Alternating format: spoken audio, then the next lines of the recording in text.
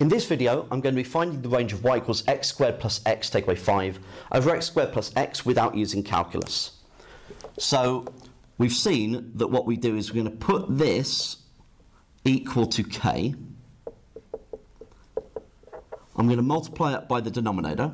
So x squared plus x take away 5 is equal to kx squared plus kx. Then I'm going to move everything onto the right-hand side. So 0 is equal to, take the x squared from both sides. We're going to have uh, k take away 1 x squared. Uh, then we've got the kx take away x, so plus k minus 1 x, and add the 5 to both sides.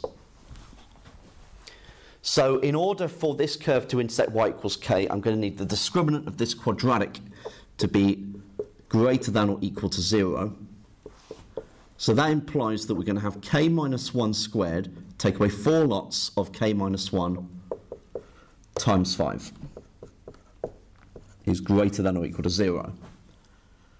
Now what we can do here is rather than expanding brackets out, I can factor the k minus 1 out of a single bracket already because it's common to both terms. And I'd have k minus 1 take away 4 times 5, so take away 20 is greater than or equal to 0. So k minus 1, k minus 21 is greater than or equal to 0.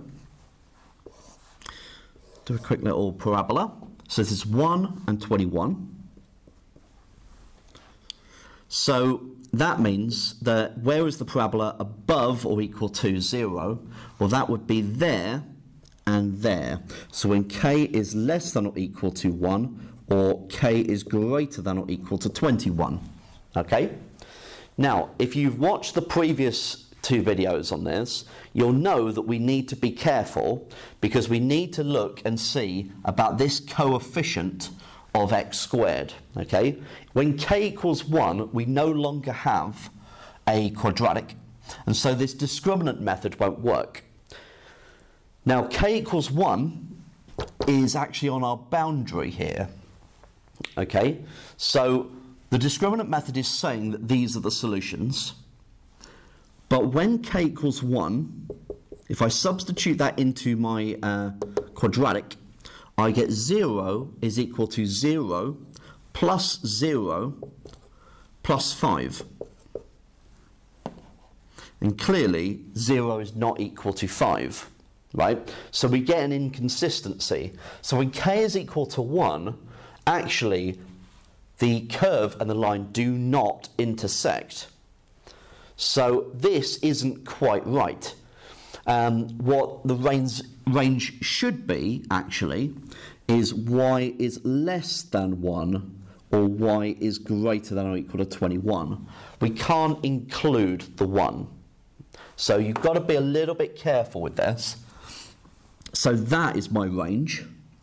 In set notation, y belongs to the real numbers such that y is less than, also less than 1. Union, uh, y belongs to the real numbers such that y is greater than or equal to 21.